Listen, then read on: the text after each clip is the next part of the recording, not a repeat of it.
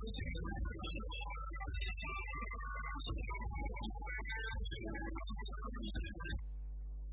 los ojos en este momento están puestos en el pueblo de La Tirana. Allí está la fiesta, por eso el profesor Rodolfo Cordero nos va a contar parte de la historia de aquella en imágenes que él ha seleccionado muy bonitas, emotivas, que nos va a comentar a continuación. Profesor, bienvenido.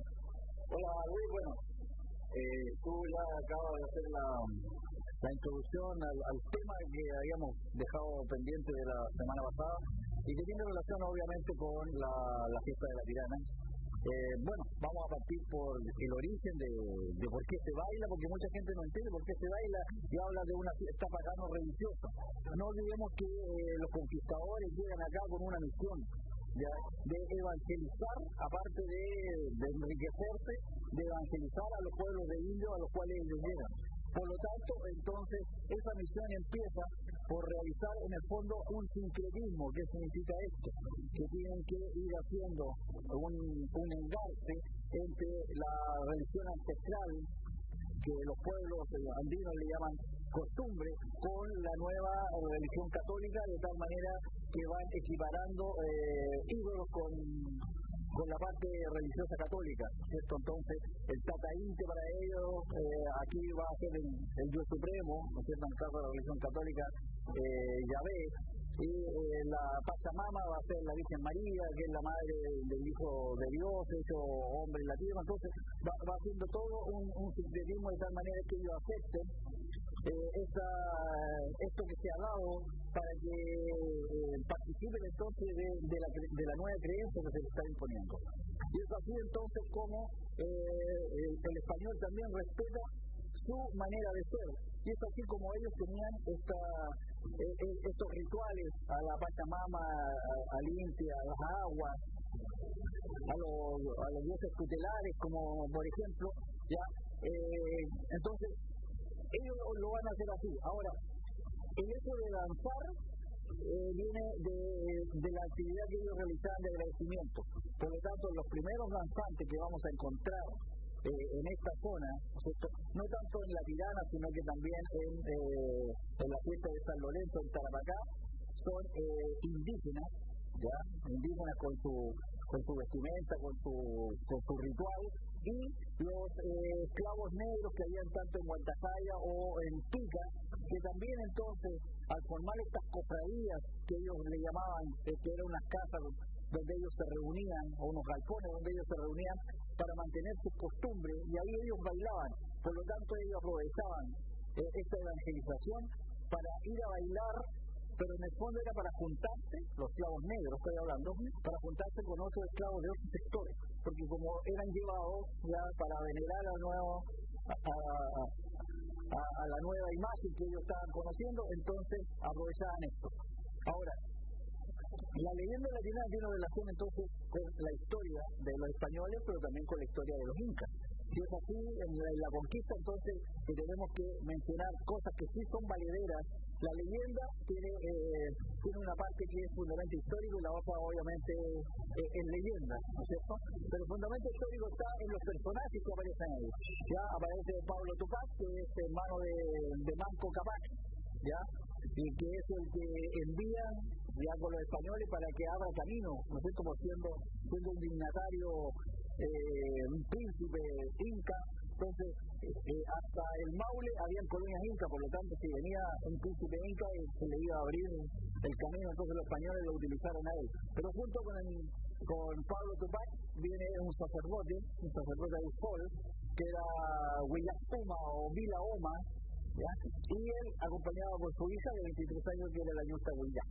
¿ya? Entonces, eh, eh, eso es histórico, eso está, esos antecedentes están. Lo mismo que el cura que se dice que encontró, ¿no cierto?, las cruces donde muere eh, la, la, la, la, princesa Inca con el, el Vasco Almeida, ¿no cierto?, el portugués.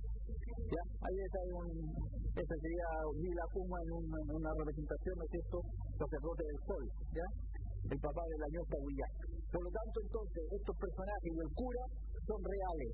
Lo, lo que sí eh, no coincide es que el cura, cierto, se dice que pasó a, poco tiempo de esto, no, el cura llegó al Cusco el año 1550 y aproximadamente la leyenda se, daría en mil, 1539, eh, o sea, prácticamente hay 11, 11 años de desfase. Por lo tanto, entonces, eh, no, no, no calza la presencia del cura en, el momento. Tal vez después que pasó, eh, pero también el, escritor o el cronista o el biógrafo que acompaña siempre a, un cura, ya en este caso era, eh, ya me el, el nombre, él no menciona eh, que el cura haya estado en el, en el pueblo de la Tirana o en, los bosques de la Tirana y haya hecho eh, ordenar la construcción de una ermita.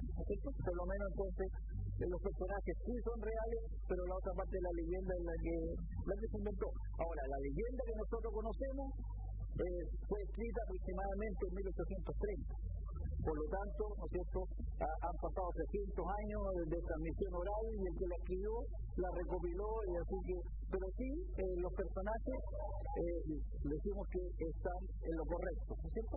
Y ahí estamos viendo entonces imagen que corresponde al incanato, ya, todas las ceremonias que los incas hacían de tal manera que eh, este es el inicio de la fiesta eh, del hecho de la leyenda de la tirana. Ahora, el pueblo de la Tierra, ¿cómo se fue creando? Por eh, el trabajo minero. Se necesitaba leña, se necesitaba agua y en el sector de los bosques de la Tirana había agua y leña. Por lo tanto, la plata desde aquí, desde Guantacaya, se llevaba hacia ese sector y ahí se beneficiaba, ahí se hicieron unos buitrones, se hicieron algunas construcciones y en esas construcciones eh, habitaban los indígenas que trabajaban eh, en la fundición de la plata, en la transformación de la plata. ¿Ya? Ahí tenemos una lista de Guantajaya, porque ya lo decíamos, el pueblo de Guantajaya, de una iglesia y además eh, el origen de, los bailes, especialmente del baile moreno, partiría en Guantajaya. Los esclavos negros, que son los que ya lo decíamos, ¿cierto? Empiezan a hacer sus bailes para recordar su, su patria lejana eh, ellos mismos después se integran con estos bailes y de ahí va a derivar entonces los morenos y las morenadas. Detente un poquito ahí nomás, Elías. Ahora, la usanza de los bailes que nosotros vemos también tiene un ancestro. Ahí tenemos eh, un baile chuncho. ¿De dónde deriva el baile chuncho? El baile chuncho deriva de eh, unos indígenas selváticos al interior del Perú, casi amazónico, que se llamaban chuncho o o ¿ya? Por lo tanto, eh, las cosas que nosotros vemos ahí, el plumaje y todas las cosas, es porque el chuncho tenía ese baile. Ah, este era reconocido como cortador de cabeza, ¿ya? Entonces, para que más o menos sepan, pero fueron dominados por los incas, por los tantos sometidos, y eh, ellos le bailaban a los incas, ¿ya? Y, ahí viene la costumbre entonces de integrar eh, este tipo de, de, baile en su forma de ser, de, salto y todas las cosas. Ahora, llevan en la mano una lanza, pero en el fondo que lo que era, lo que estos usaban, era un arco con flechas, ¿ya? Y eh, a, ese, ese, ese palo que llevan ahí, ¿no es que es como una lanza, se le llama chonta.